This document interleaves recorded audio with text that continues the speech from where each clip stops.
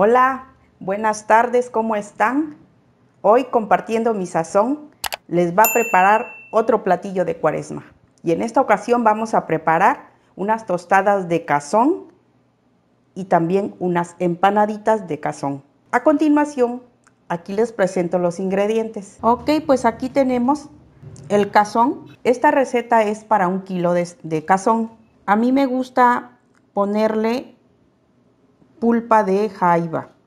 Entonces vamos a utilizar medio kilo de cazón y medio kilo de pulpa de jaiba. Aquí es un poquito más, son 750 gramos, le vamos a quitar un poco. Y este sí son medio kilo de pulpa de jaiba.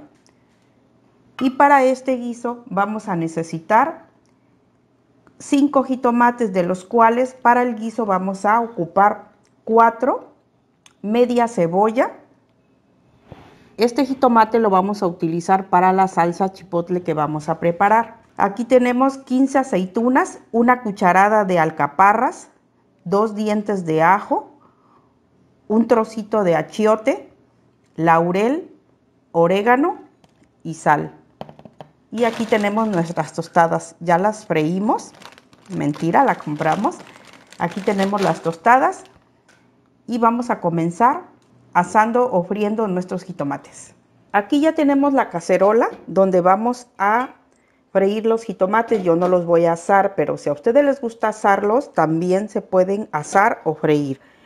Yo aquí esta la voy a ocupar para, para las dos, este, para asarlos y para sazonar. Y vamos a comenzar poniendo los jitomates en cuartos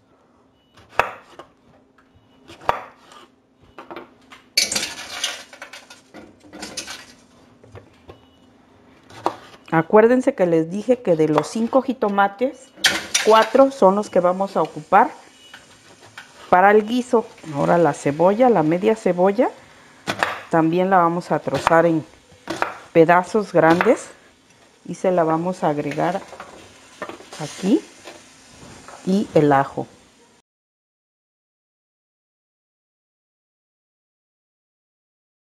Bueno, ya lo tenemos acá. Ahora le vamos a poner dos cucharaditas de aceite y la vamos a esparcir encima de los jitomates.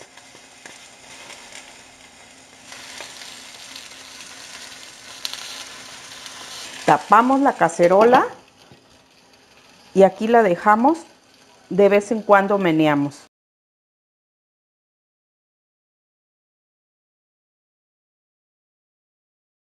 Ya están listos los jitomates. Ahora vamos a empezar a moler para empezar a sazonar ya nuestra salsa. Bueno, le apagamos y empezamos a moler. Le agregamos un poco de agua y también le vamos a agregar ya las aceitunas las alcaparras y el achiote. Las especies se las vamos a dejar a lo último, pero estas no van molidas. Y comenzamos a licuar. Como el, jitomate y la cebolla este, las freímos, ya tenía aceite, ya no le vamos a agregar aceite a la cacerola.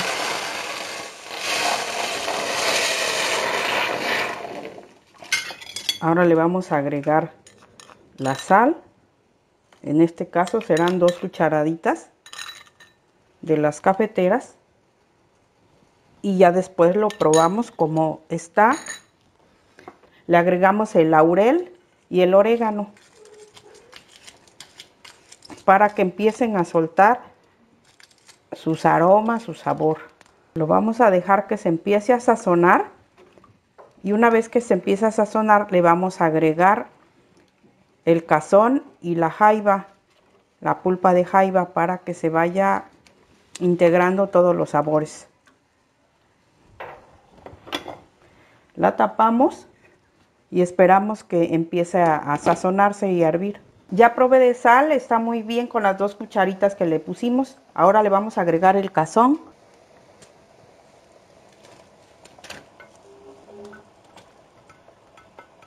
Lo vamos a integrar perfectamente antes de agregarle la pulpa de jaiba. Ahora vamos a agregar la jaiba, la pulpa de jaiba.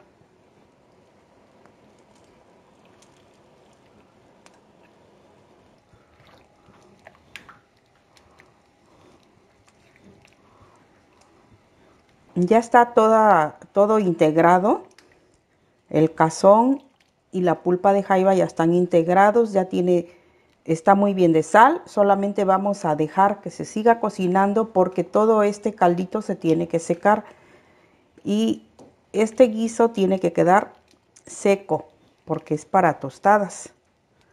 Y lo vamos a tapar, lo vamos a dejar a fuego medio para que se vaya consumiendo poco a poco. Mientras les voy a, enseñar cómo vamos a hacer la salsa para las tostadas. Estos son los ingredientes para la salsa. Aquí tenemos una lata de chipotle, se la vamos a agregar al vaso de la licuadora.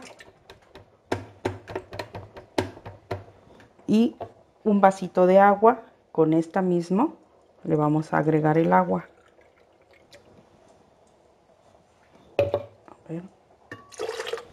Aquí ya tenemos el jitomate, el quinto jitomate, que este sí fue asado. Se lo vamos a agregar también aquí. Y le vamos a agregar una cucharita de vinagre blanco. Una cucharita de vinagre. Y una cucharita de sal. Y nos faltó aquí un ajo, un clavito de olor y una pimienta. El ajo ya se lo agregué y para adentro sacramento. Y ahora a moler la salsa. Y la agregamos en esta salsera. Si tú la quieres colar, la puedes colar y si no, directamente a la salsera. Ya tenemos aquí la salsa. Ahora le vamos a echar un vistazo al cazón para ver cómo va y darle su meneadita.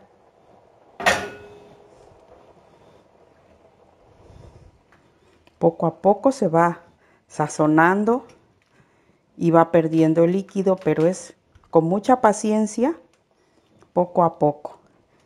Y pues quiero mencionarles también que esta receta me la compartió este, una amiguita que tengo, se llama Nelly. Ella tenía un restaurante de mariscos. En una ocasión le pedí la receta y con mucho gusto me la compartió. Ya la hemos hecho en otras ocasiones y ha quedado deliciosa. Y pues es un agradecimiento y en honor a ella. Y para ella estamos haciendo esta receta para que ella nos califique, para ver si fuimos muy buenas alumnas o no. Gracias Nelly por compartir tu sazón conmigo. Vamos a checar cómo va el guiso porque hay que irlo este, meneando para que no se nos vaya a pegar. Y miren cómo va quedando. Todavía le falta que se seque un poco más. Todavía tiene caldito.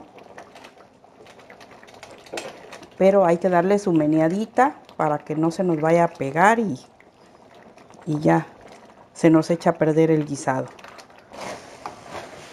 Ya se secó el, el líquido y ya le vamos a apagar porque esto ya quedó listo.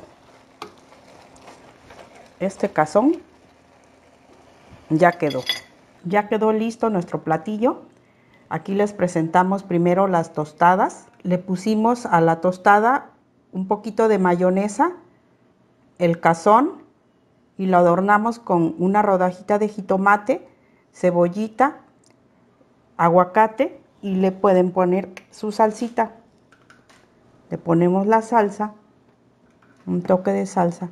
Las empanaditas las puedes adornar con, lechuga, con lechuguita y salsa y crema si llevas gusto también.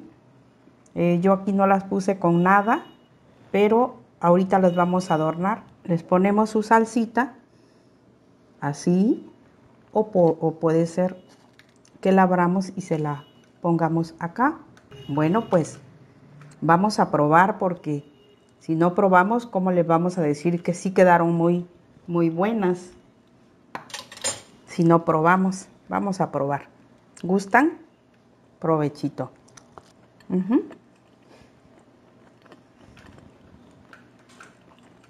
Quedaron muy ricas. Pues este fue nuestro platillo de hoy.